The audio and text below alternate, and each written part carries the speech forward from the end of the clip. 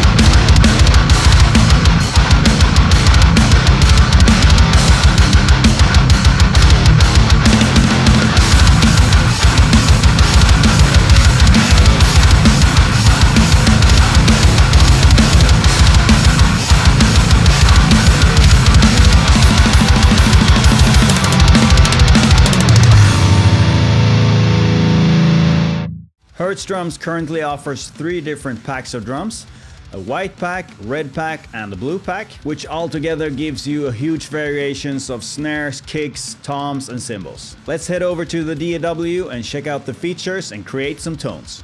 Alright, so this is how it looks when you load it up. But before we dive into the features of the plugin, let's take a listen to how it sounds. I have no processing on the drums themselves, other than an instance of flatline on my master out down here, but that's mainly just for some volume control for you guys. And the drums are routed out to a stereo output, but stay tuned to the end of the video where I'll make a mix using the multi-outs, which I'll go through in a bit, and do some processing and see what tones we can get out. So let's check out the MIDI that I wrote for the playthrough in the beginning. I hope you liked it, and check out how it sounds.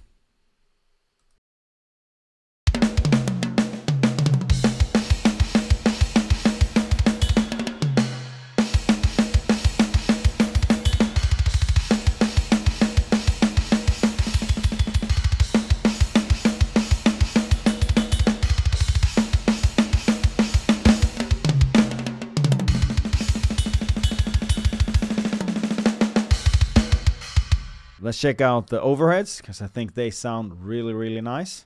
I'm gonna move forward a bit here. So I'm gonna solo the overheads.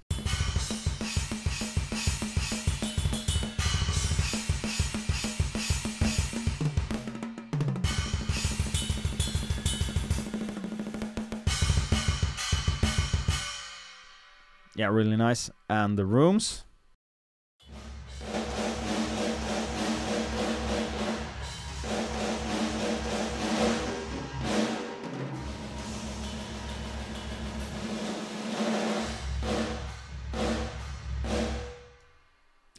Nice and explosive, and it sounds really natural and realistic. That really nice tuned kick-ass drums would sound in a nice drum room. So let's check out the features, and later on I'll slap on some processing and see what tones we can get out of it. I'm gonna just go through all the features here. So starting off from the top here, the first thing that uh, loads up when you load the plugin is the mixer. And in the mixer you can set either volume or panning to each individual drum as well as the different groups that the drums are routed to. So you, as you can see here, you have the different spot mics for each drum and each cymbal and the tambourine or cowbell. And here you have also the groups that the drums are routed to. Kick, snare, toms, hi-hat, ride, cymbals, and miscellaneous. Uh, you can choose the different uh, setups here. So you can quickly access the groups or the shells or the uh, cymbals right there. So the next folder up here is the library sampler, uh, which I will go through in more of detail in a bit. And in the next folder up here, you have the grooves folder, where you have a bunch of pre-recorded MIDI parts, uh, intros, beats, fills, and ends, uh, where you can build your own song basically and then edit it to your preference. That's really cool.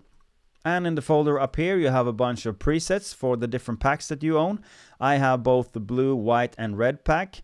So I can easily just uh, choose a genre from uh, any of the packs that uh, they've created a preset for. And that gives me a good starting point for a tone that should fit that genre. And next up is the audio routing, where you have a bunch of different uh, routings for each individual mic. As I have it set up here, it's just a straight uh, stereo out, but you can easily just click the multi-outs here, and it sets the drums up for a multi-out recording, which allows you to uh, create individual tracks for each drum, so you can process them differently uh, afterwards. And next up is a bunch of settings for MIDI mapping. Uh, for instance, if you are writing uh, riffs, uh, drum riffs in another program, you can easily just uh, load up a different MIDI mapping that corresponds to, for instance, GGD Invasion or EZdrummer or Superior Drummer, uh, and go back to Hertz Drums MIDI mapping really quick. So that's a really nice feature to have. Or if you have your own preference, you can just choose the MIDI mapping for each individual drum really fast like this. And next up here is the settings where you'll find your audio libraries, MIDI libraries, the performance, low, medium or high, if you want it to be humanized or stereo flipped.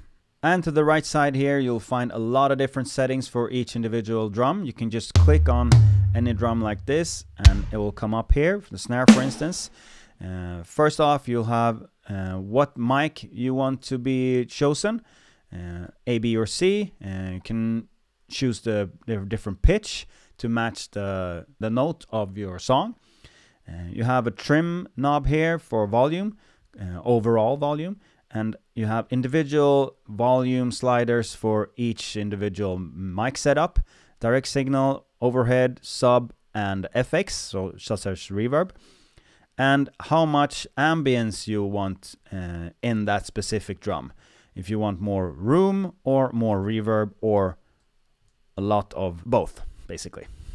you can also phase flip uh, both the reverb and the room, which is really cool.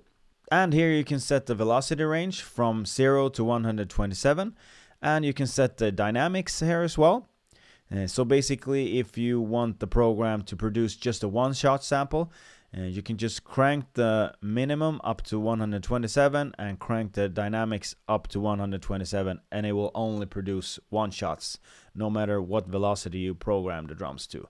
So um, mix these and uh, try to set them in different uh, parameters. You can get really nice uh, performance out of it. And here you have a handy little feature which is exactly as it says. It's a reverse uh, button.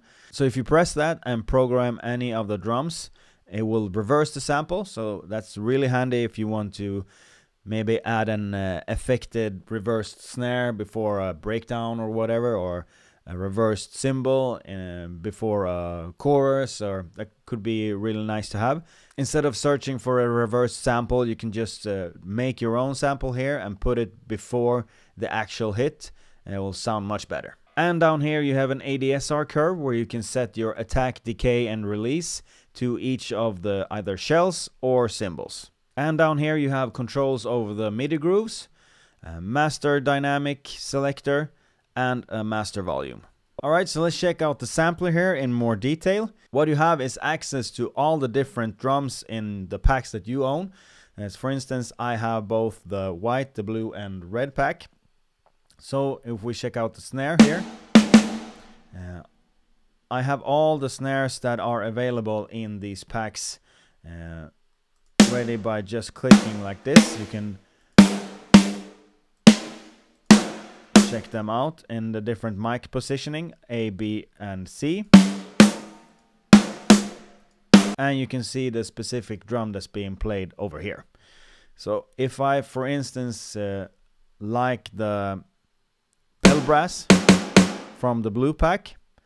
Uh, I can just simply right click and that snare is now chosen for this kit. Even though the main kit could be the red kit uh, with the kicks and toms and cymbals and whatnot, but you can use a snare from another kit just by right clicking that specific drum that you like that combines uh, well with the other drums from another pack. And you can do it on the fly as well so if we solo it like this a bit more easier to hear. So if I just uh, press play here and then click through the different drums you can hear the different sample being chosen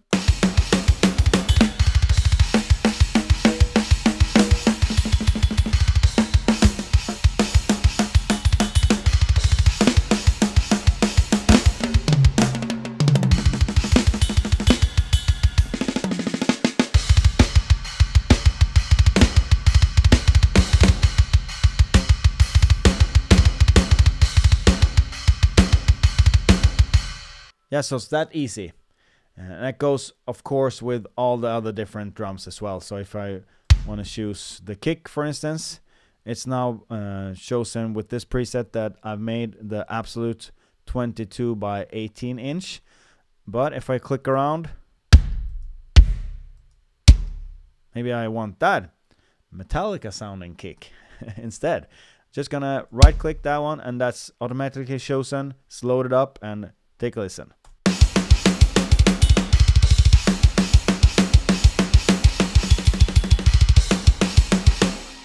Yeah, really nice, tight sounding. And you can do that with the cymbals as well, of course. You have a bit fewer options since there are fewer cymbals uh, than uh, the drums themselves.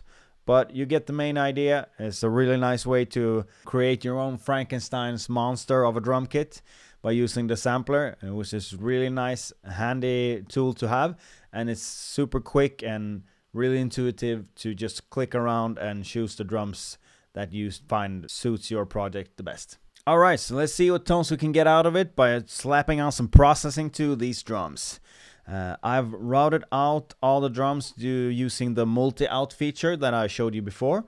Uh, and I've uh, printed down the audio like this uh, for each drum, shell, and cymbals and uh, rooms. Uh, and I have some bass and some guitar here with some processing and some sick amp sims to it. I'm using the bass knob from Bogren Digital for the distorted bass sound with these settings. And I'm using the amp knob from Bogren Digital as well for the rhythm guitars with the settings like this. Really simple, but sounds kick-ass. And they got some slight processing to them, but we're here for the drums, so let's do a quick and kick-ass probably mix uh, for these drums. I'm gonna first off erase a couple of tracks that I don't need. I'm only using one kick. The nice thing with this plugin is that you can program left and right kick and it has a lot of other variables that you can program these drums to make them sound even more realistic than they already do with the humanizing function. But uh, I haven't done that uh, in that quite of detail for this video. So I'm just gonna do as I normally do and program it that way. Uh, so let's just uh, start off by listening to the kick, how it sounds in solo.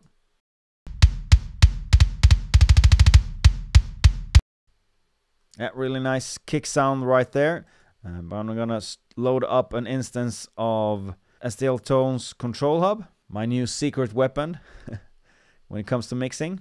Slap on some Atrium Audio drums. I love the tones that comes out of that studio, so having the presets from these guys in this plugin is really inspiring. Let's hear it with just a kick preset here.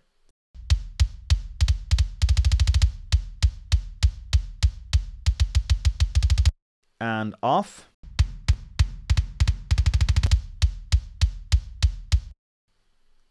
Yep, cleared it up, made it a bit more punchier. Let's move on to snare. This will go fast, so keep with me. Control hub yet again. Atrium audio, show me what you got. Snare one, why not?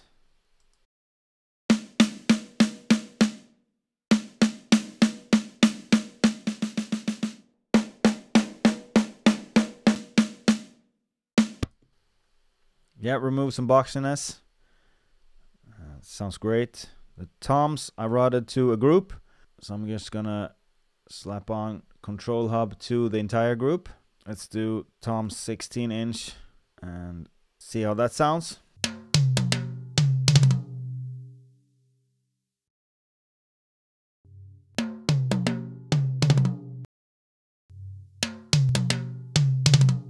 Really nice top end to that one and some clickiness as well. think it's gonna cut through the mix really nice. Let's go to overheads.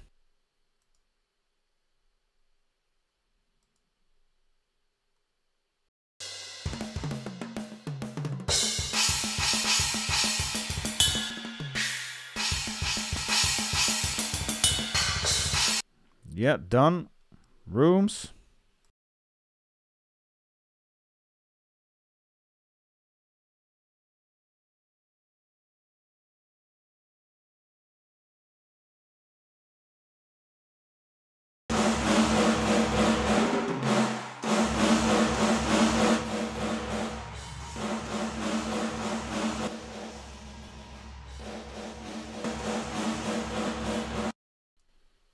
The rooms really exploded with that preset. Sounds really nice. And an overall drum bus processing.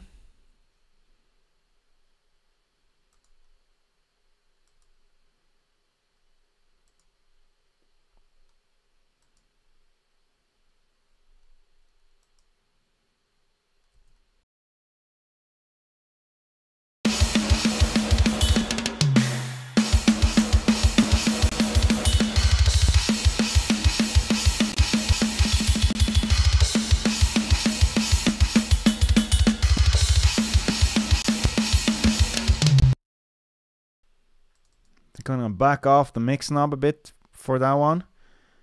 It was a little bit too extreme. Even though we like extremes here.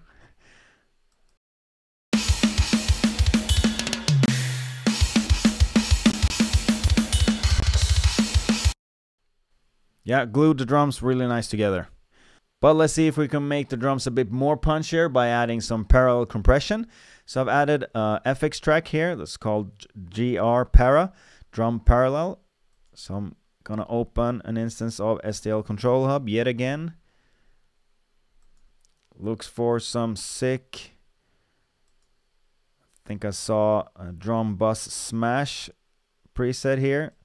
I think that's just exactly what we are after. Uh, so I'm gonna quickly route some stuff to that bus. I'm gonna need some kick some snare. And the snare I want to be the main uh, driving force for the parallel compression. So I'm gonna back off everything but the drum, the snare, sorry. So the snare is gonna be at 0 dB and the rest is gonna be a bit below.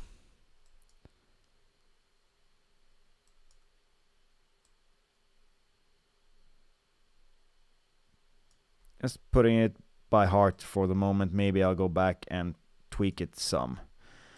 But the trick is to add all instances of the drum kit to the parallel bus to make it more unison. I think it sounds the best if everything is routed to it in various amounts.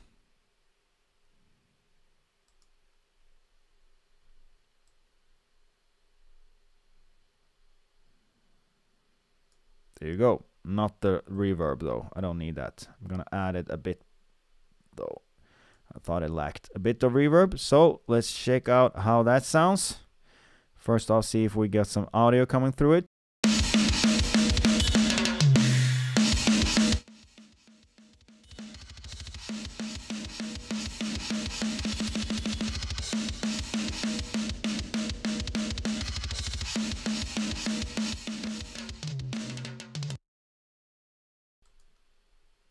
Yeah, sick. So I'm gonna start with it at zero and then ease it into the mix. Just uh, I want it to be punchy, but I don't want it to be overwhelming. So let's solo the drums and just add in the parallel bus until I'm happy.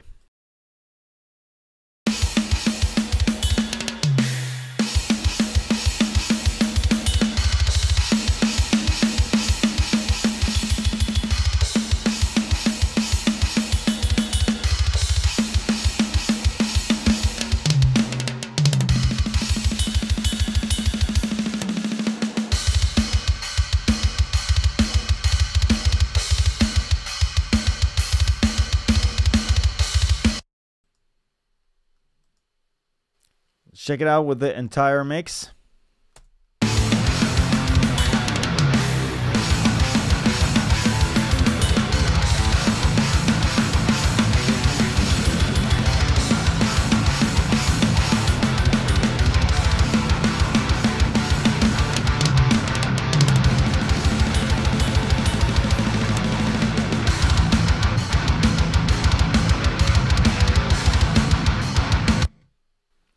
Sounds kick ass. Uh, how long did that take? A couple of minutes. And I got a really nice kick ass drum mix. Yeah, so that's Hertz drums for you. An awesome sounding drum program with a really nice natural drum sound created in a kick ass drum room. You can really tell that when you listen to the overheads and rooms in solo. And a lot of attention to detail and time gone put into this program, making it sounding as realistic as possible with the different articulations you can program and all the different settings you can do to each drum or each uh, cymbal. It goes for a really realistic sounding drum sound. Well, thank you so much for watching my demo. If you like what I do, please consider subscribing. Hit that notification bell so you get notified whenever I release a new video. And until the next one, see you later.